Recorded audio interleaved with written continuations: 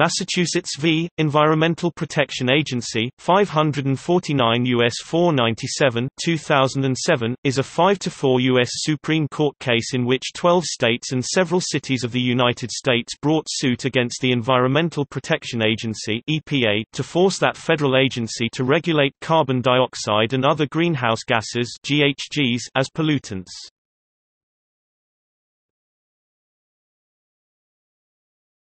Topic. Background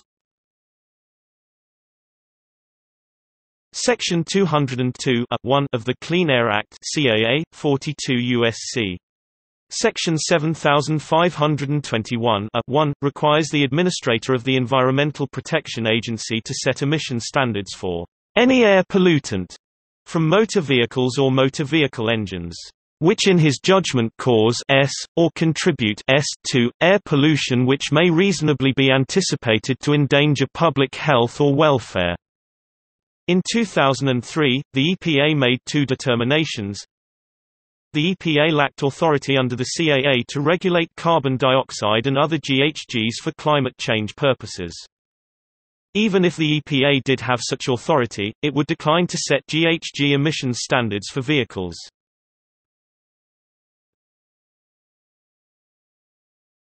Topic: Parties. The petitioners were the states of California, Connecticut, Illinois, Maine, Massachusetts, New Jersey, New Mexico, New York, Oregon, Rhode Island, Vermont and Washington, the cities of New York, Baltimore, and Washington, D.C., the Territory of American Samoa, and the organizations Center for Biological Diversity, Center for Food Safety, Conservation Law Foundation, Environmental Advocates, Environmental Defense, Friends of the Earth, Greenpeace, International Center for Technology Assessment, National Environmental Environmental Trust, Natural Resources Defense Council, Sierra Club, Union of Concerned Scientists, and the U.S. Public Interest Research Group. James Milkey of the Massachusetts Attorney General's office represented the petitioners in oral arguments before the U.S. Supreme Court. Respondents were the Environmental Protection Agency, the Alliance of Automobile Manufacturers, National Automobile Dealers Association, Engine Manufacturers Association, Truck Manufacturers Association, CO2 Litigation Group, Utility Air Regulatory Group, and the states of Michigan, Alaska, Idaho, Kansas, Nebraska, North Dakota, Ohio, South Dakota, Texas, and Utah.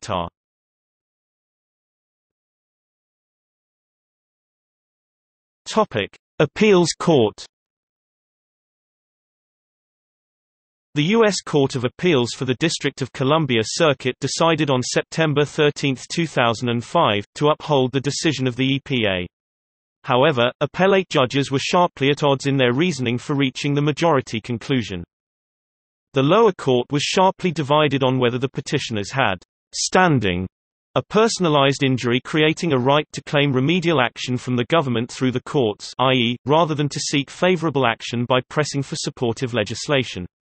One of the three judges found no standing while a second of the three postponed a factual decision for any later trial.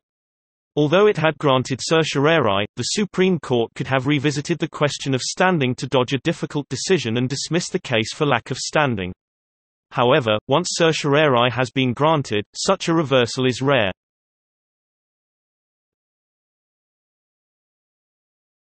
Topic: Granting of certiorari. On June 26, 2006, the Supreme Court granted a writ of certiorari.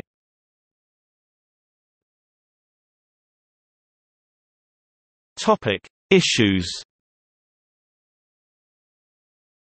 Whether the petitioners had standing. Whether carbon dioxide is an air pollutant causing air pollution as defined by the CAA. If carbon dioxide is not an air pollutant causing air pollution, then the EPA has no authority under the CAA to regulate carbon dioxide emissions. If the CAA governs carbon dioxide, the EPA administrator could decide not to regulate carbon dioxide, but only consistent with the terms of the CAA. Whether the EPA administrator may decline to issue emission standards for motor vehicles on the basis of policy considerations not enumerated in Section 202 1.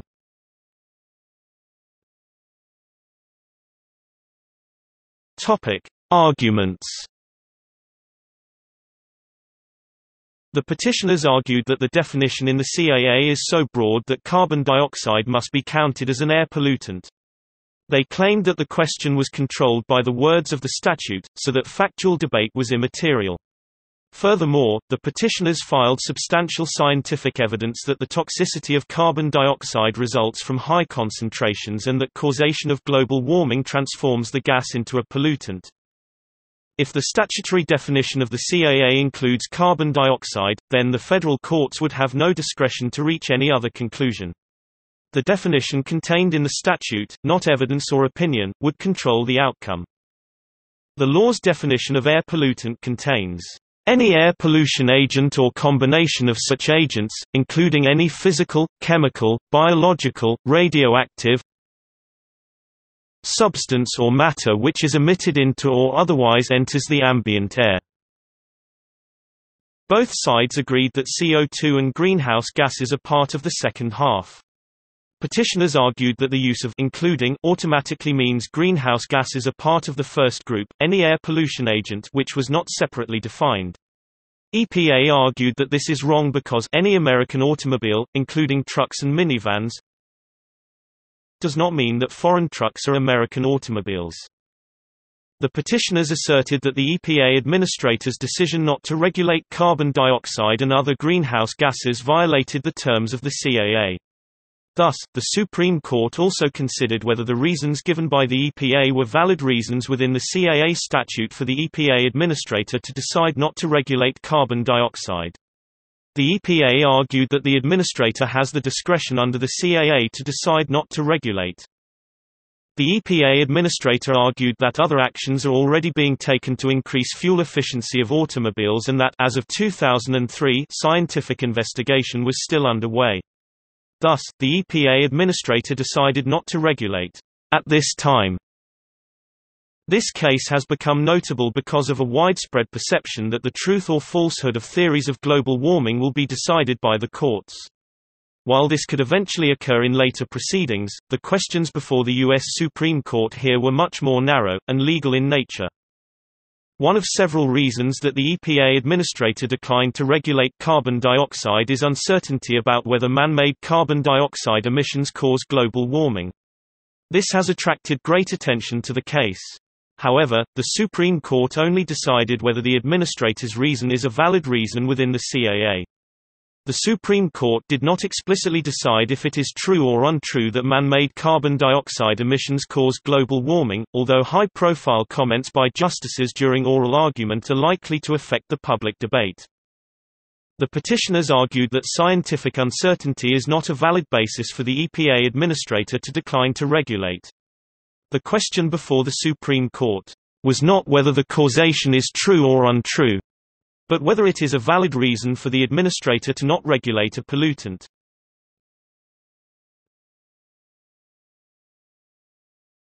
Topic: Opinion of the court. First, the petitioners were found to have standing. Justice Stevens reasoned that the states had a particularly strong interest in the standing analysis. The majority cited Justice Holmes' opinion in Georgia v. Tennessee Copper Co. 1907. The case has been argued largely as if it were one between two private parties, but it is not. The very elements that would be relied upon in a suit between fellow citizens as a ground for equitable relief are wanting here. The state owns very little of the territory alleged to be affected, and the damage to it capable of estimate in money, possibly, at least, is small. This is a suit by a state for an injury to it in its capacity of quasi-sovereign. In that capacity the state has an interest independent of and behind the titles of its citizens, in all the earth and air within its domain. It has the last word as to whether its mountains shall be stripped of their forests and its inhabitants shall breathe pure air. Second, the court held that the CAA gives the EPA the authority to regulate tailpipe emissions of greenhouse gases. The CAA provides The administrator shall by regulation prescribe and from time to time revise in accordance with the provisions of this section, standards applicable to the emission of any air pollutant from any class or classes of new motor vehicles or new motor vehicle engines, which in his judgment cause, or contribute to, air pollution which may reasonably be anticipated to endanger public health or welfare. The CAA defines air pollutant as any air pollution agent or combination of such agents, including any physical, chemical, biological, radioactive substance or matter which is emitted into or otherwise enters the ambient air. The majority opinion commented that greenhouse gases fit well within the CAA's capacious definition of air pollutant. Finally, the court remanded the case to the EPA, requiring the agency to review its contention that it has discretion in regulating carbon dioxide and other greenhouse gas emissions. The court found the current rationale for not regulating to be inadequate and required the agency to articulate a reasonable basis in order to avoid regulation.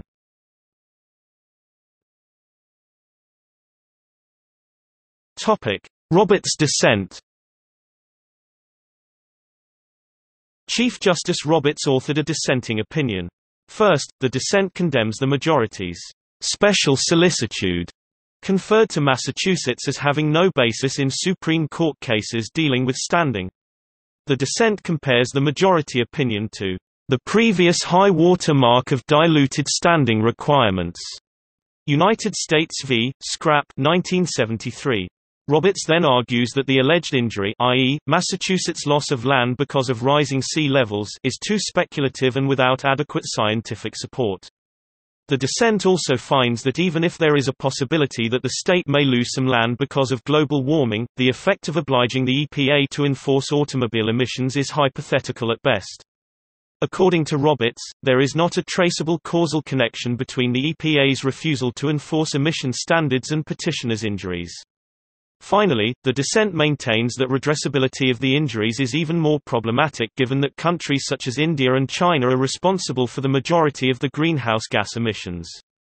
The Chief Justice concludes by accusing the majority of lending the court as a convenient forum for policy debate and of transgressing the limited role afforded to the Supreme Court by the U.S. Constitution.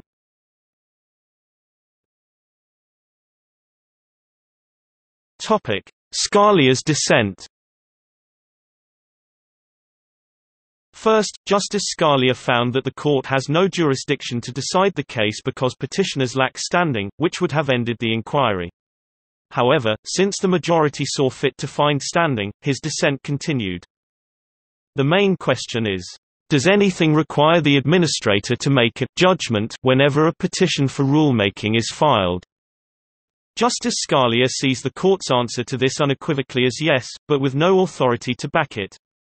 He backs this assertion by explaining that the statute says nothing at all about the reasons for which the administrator may defer making a judgment. The permissible reasons for deciding not to grapple with the issue at the present time. Scalia saw no basis in law for the court's imposed limitation. In response to the court's statement that if the scientific uncertainty is so profound that it precludes EPA from making a reasoned judgment as to whether greenhouse gases contribute to global warming, EPA must say so. Scalia responded that EPA has done precisely that, in the form of the National Research Council panel that researched climate change science. But in fact, the panel stated that it generally agrees with the assessment of human-caused climate change presented in the IPCC Working Group 1 WGI scientific report which concluded that most of the increase in global temperatures since the middle of the 20th century is very likely caused by man-made greenhouse gases.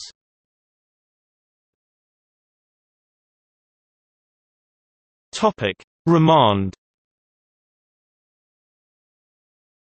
On remand, EPA found that six greenhouse gases in the atmosphere may reasonably be anticipated both to endanger public health and to endanger public welfare. On February 16, 2010, the states of Alabama, Texas, and Virginia and several other parties sought judicial review of EPA's determination in the U.S. Court of Appeals, District of Columbia Circuit. On June 26, 2012, the court issued an opinion which dismissed the challenges to the EPA's endangerment finding and the related GHG regulations. The three-judge panel unanimously upheld the EPA's central finding that GHG such as carbon dioxide endanger public health and were likely responsible for the global warming experienced over the past half-century.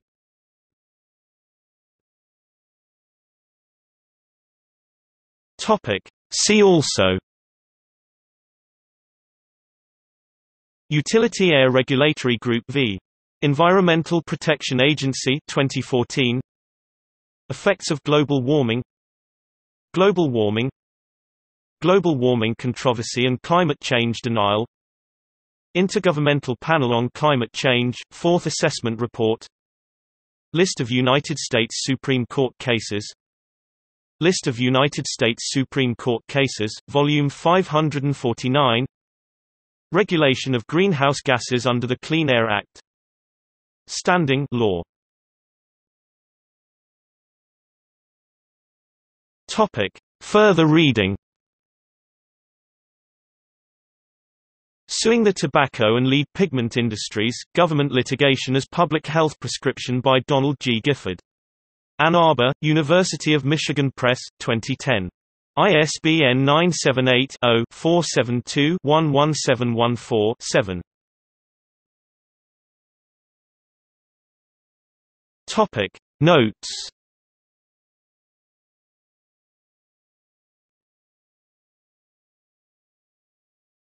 Topic. External links. Works related to Massachusetts v. Environmental Protection Agency at Wikisource Text of Massachusetts v. Environmental Protection Agency, 549 U.S. 497 2007 is available from Cornell Courtlistener FindLaw Google Scholar Justia Oyez Oral Argument Audio. CRS report public domain.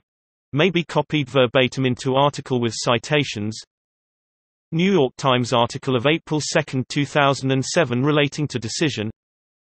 Transcript of oral arguments Bloomberg report of June 26, 2006